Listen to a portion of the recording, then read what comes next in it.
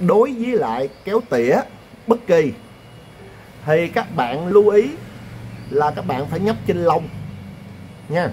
Nhấp trên lông, nhất là phần đầu mũi các bạn nhấp nhẹ thôi để tự động nó đứt à. Rồi các bạn đổi chiều dùm cho mình. Đấy. Ok nha. Nhất là ba cái răng đầu nó dễ không bén lắm. Và các bạn vui lòng xử lý là cho nó đẹp, thiệt đẹp, nó ít hao nhất có thể.